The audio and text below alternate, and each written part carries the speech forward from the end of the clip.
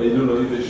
güneşini açıyorum. Alacağımız kararların içimize hayırlar getirmesi. Yani gündemi okumak üzere Hızlı Yazı İşleri Müdürümüz Sayın Selam Hakkı Buyurun Sayın Çocukların kişilik gelişimi, sosyal yaşam adaptasyon, beceri ve yeteneklerin geliştirilmesi, moral ve motiv- motivasyon kazanmaları, meslek edinme amacına yönelik eğitimler verilmesi ve benzer uygulamaların yapılması amacıyla eğitim ve gelişim merkezi kurulması planlanmaktadır. Söz konusu merkezin kurulması, işleyişi ve devamlılığını sağlamak amacıyla Mutlu Yuva Derneği ile oluşturulacak ortak hizmet projesine ilişkin esas ve usullerin belirleneceği protokolü imzalamak üzere Belediye Başkanımız Mehmet Can Polat'a yetki vermesi konusu başkanım.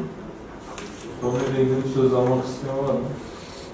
İlgili başkanlık teklifini organizasyonu kabul edenler, etmeyenler ön birliğiyle kabul edilmiştir. Bir ayı toplantılarımız sona ermiştir. Katılımlarınız için teşekkür ederim. Toplantıyı 3 Ekim Pazartesi saat 10'da toplanmak üzere kapatıyorum.